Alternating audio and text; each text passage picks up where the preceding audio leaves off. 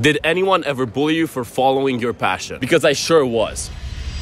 Back in middle school, YouTube wasn't really a career. You see, when posting a video, as creators, we are extremely vulnerable to the public because we not only put our personality on the line, but also our biggest fears. So we tend to never actually talk to anyone about our channels because we don't want anyone to give us a negative feedback. And so, while making this video, I was curious to see what other creators went through in their story. Hi, I'm Griffin. My name's Julian. What's up? My name is Ian Gapana. Hi, I'm Asher. What was your biggest fear coming up as a YouTube creator?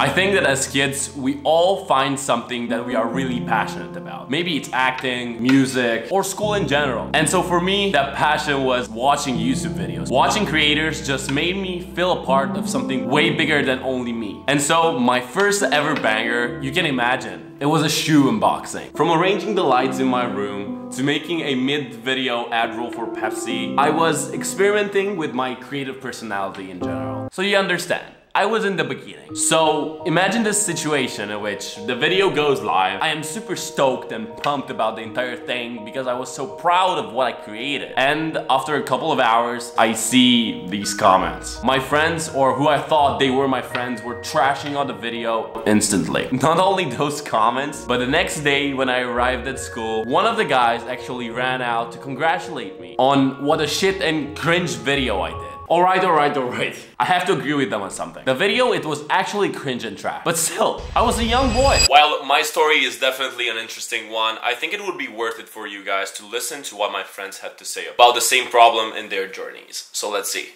I barely talk to my friends about my stuff now, even though I'm proud of it. I tell them about it, I just don't talk to them about it too much. Yeah, no, definitely, man. Like, I had that. Didn't want people to know I was really embarrassed. I was really ashamed of it. What my friends are gonna say when they see me on my video. Making sure that as I felt like my videos were cringy, you know what I mean? And once they see it, it's like, it's even more cringy. fear of other people finding my channel and getting bullied. I think that was a big fear when entering YouTube. At that time, I thought it was just a bad joke and this idea would have been just forgotten in a couple of months. You may ask yourself, what I actually reach with this? Well, I kind of was accepted by everyone. I was friends with everyone. Everyone was liking me. To this day, I still get some of those questions like, Milan, how are your videos doing? I'm like, great dude, what do you think? Funny fact, I still continued posting videos for some reason. No joke, I actually had a phase in 10th grade when I started posting three videos a week for like a month. The videos were really cringe, but the goal was that I actually started learning how to make videos. And as always, while scrolling down the YouTube rabbit hole, I found this video of this guy that had an actually amazing thumbnail. I was like, hell yeah, let's watch this. You know who it was? If you guessed Kelly Wakasa, you're right. This cheeky dude actually got me with his personality from the beginning. And not only that he was a great creator,